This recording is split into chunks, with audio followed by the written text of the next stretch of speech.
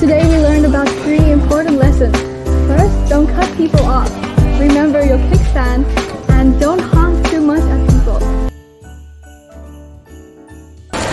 Your kickstand, your kickstand! Oh, oh, oh, thank you so much. Okay, so that one is a kickstand. Uh, remember to put it up before you drive and put it down when you park.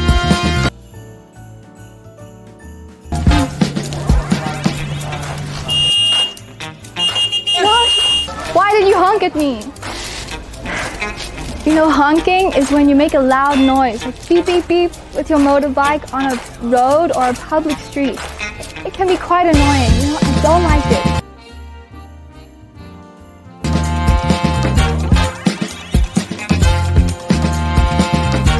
Why did you cut me off? Do you have eyes? So cut me off means when one person suddenly drives in front of another person in the road. It's really dangerous and you guys should be careful. Thank you for watching and